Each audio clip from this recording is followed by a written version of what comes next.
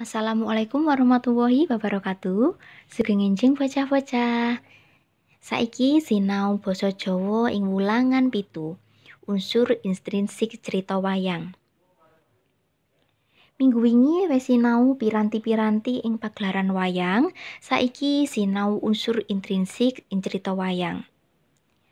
Cerita sing bakal dak simak saiki judule Bale Si Golo-golo. Ayo diperhatekake bareng-bareng. Becik ketitik ala ketara.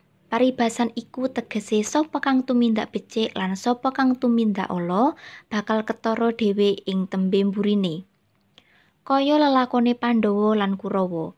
Kadang Pandhawa tansah nuduhake watak kang becik, seneng tetulung, lila legawa, pasrah marang Gusti Kang Maha Kuwasa. Artinya, becik ketitik ala ketara artinya Siapa yang berbuat baik dan siapa yang berbuat buruk akan terlihat pada akhirnya. Seperti perilaku Pandawa dan Kurawa. Saudara Pandawa selalu menunjukkan sikap yang baik, senang menolong, selalu lilo legowo dan pasrah kepada Tuhan. Kosok baline kadang Kurawa dadi menungso kang adigang adigung adiguna senengina sepadha atine ana erine tansah nuruti hawa nepsu angkara murkane. Apa maneh nalika paman yaiku patih sengkuni ana ing cedhake. Saya ndrodro murang tata lan ninggal tata kramane. Artinya lawan kata dari Kurawa Saudara Kurawa menjadi manusia yang hanya mengandalkan selalu mengandalkan jabatan dan kepintarannya, suka menghina dengan sesama dan hatinya selalu dipenuhi dengan hawa nafsu. Apalagi jika pamannya yaitu Pati Sengkuni yang dekat dengannya semakin menjadi-jadi dan hilang tata krama. Sore iku ing alun-alun Hastinapura, Pandhawa lan Kurawa lagi dolanan bareng. Pada sore hari, di alun-alun Hastinapura, Pandawa lan Kurawa lagi bermain bersama. Adikku Yudhistira, elus tembungi Duryudana. Adikku Yudhistira, kata Duryudana dengan lembut. Kepriye kakang, bagaimana kak? Kanggo ngundhakake kaweruhmu lan bisa cedhak karo kawula cilik si adi lelimo wis aturi ameng-ameng lelono broto untuk meningkatkan ilmumu dan bisa dekat dengan rakyat kecil adik kelimamu semuanya sudah aku beritahu untuk pergi. Sampun kuatos sampun wonten pasanggrahan endah asri kagem panjenengan lan Ibu Kunti ing tlatah Waranawata pambujuke Patih Sengkuni. Jangan khawatir, jangan sudah ada tempat yang indah untuk tempat tidur panjenengan dan Ibu Kunti di di daerah Waranawata. Bujuk Patih Sengkuni. Iya di mengko si Purocana kang bakal ngladeni kabeh kang dadi kersamu sekadang. Iya dik, nanti si Purocana akan melayani kamu apa yang akan kamu inginkan. Wusana Pandhawa limo lan Ibu Kunti pamitan marang Eyang Bisma, Prabu Destarata lan paman Yama Widura. Anane mung manut lila legawane. Awit percaya yen kabeh lelakone manungsa iku wis pestine dening Gusti Kang Murbeng dumadi. Akhirnya Pandawa Lima dan Ibu Kunti pamit kepada Eyang Bisma, Prabu Destarata, dan Paman Yama Widura. Mereka percaya bahwa semua hal manusia itu menjadi di sudah diatur oleh Tuhan yang Maha Esa.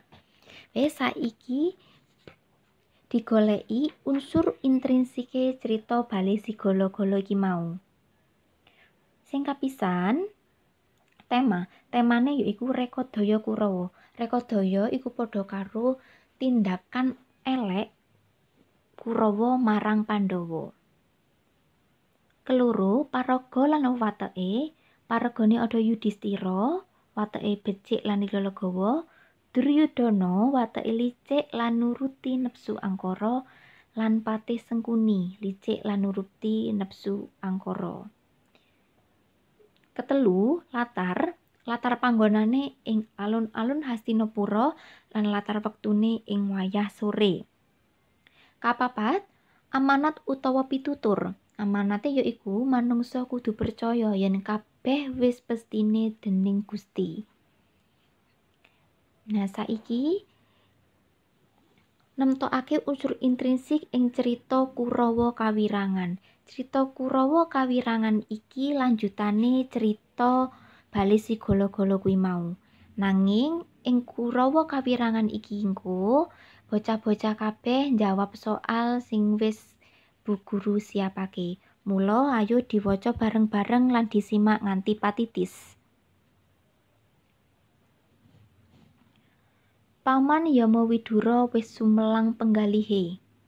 Mula sawise Ibu Kunti lan Pandhawa budal menyang Waranawata, enggal utusan Kanana abdi kinasi. Kanana diutus gawe terowongan. Terowongan mau mau kudu bisa dadi dalan. Samangsa ana kedadian kang bebayani tumrap Ibu Kunti lan para Pandhawa. Artinya, Paman Yamawidura sudah khawatir pikirannya. Sehingga mula sawise itu tadi artinya sejak Ibu Kunti dan Pandawa berangkat ke Waranawata. Lalu mengutuslah abdi kinasihnya yang bernama Kanana itu tadi. Kanana diutus membuat terowongan. Terowongan tadi harus bisa dibuat jalan untuk Ibu Kunti dan Pandawa apabila di tengah jalan terdapat bahaya. Ing wektu kang wis ditemtokake nalika rembulan dadari sumenar padang, Kurawa lan Patih Sengkuni nindakake culikane. Purucana diutus ngobong bali si golo-golo nalika kabeh padha turu kepati. sauntara Kurawa padha njagani ing sanjabane. Artinya, pada waktu yang telah ditentukan ketika rembulan bersinar, Kurawa dan Patih Sengkuni melakukan kegiatan liciknya. Purucono diutus atau disuruh untuk membakar balik si golo-golo ketika para Pandawa dan Ibu Kunti itu tidur. Sementara Kurawa menjaga di luar bali si golo-golo tadi. Temenan, sedelo bae bali si golo-golo dadi geni melangat alat. Bale kang digawe saka damar wau mulat-mulat kobar. Hawa panas lan beluk kandel nangekake para Pandhawa. Bima enggal nggendong Nakula lan Sadewa Arjuna golek dalan kanggo uwal saka geni Puntadewa gandeng Ibu Kunti. Artinya, kemudian balisi golo-golo menjadi api. Bara api yang dibuat bali tadi semakin berkorbar. Hawa panas serta asap yang tebal sehingga membuat Pandawa menjadi terbangun. Bima lalu menggendong Nakula dan Sadewa. Arjuna mencari jalan untuk keluar dari api dan Puntadewa menggandeng Ibu Kunti. Dumadaan ana garangan putih melbu ing leng kang digawe dening Kanono. Pandhawa lan Ibu Kunti ngetutake garangan putih mau. Slamet waras wiris ora nandang opo-opo. metu saka terowongan wis ana ing sapinggire alas Waranawata. Garangan putih wau ora liya Hyang Antaboga kang nedya mitulungi Dewi Kunti lan para Pandhawa. Artinya, tiba-tiba ada musang putih yang masuk ke dalam terowongan tadi yang dibuat oleh Kanana. Pandawa dan Ibu Kunti lalu ikut garangan tadi atau ikut musang tadi. Ternyata selamat tidak terjadi apa-apa keluar dari terowongan ternyata sudah sampai di hutan Waranawata. Ternyata musang putih tadi adalah yang Antaboga yang menolong Ibu Kunti dan para Pandawa. Sawuntara Kurawa guyu lakak-lakak Duryudana Patih Sengkuni Dursasana lan adine rumangsa marem atine seneng bisa nyingkirake Pandhawa saklawase. Ora ngerti yen tumindak Julika mau bakal nuwuhake urip sengsara kanggo Kurawa lan Hastinapura. Artinya, sementara Kurawa sangat terbahak-bahak karena senang, Duryudana, Sengkuni, Dursasana dan adik-adiknya merasa senang hatinya. Senang karena bisa menyingkirkan Pandawa selamanya.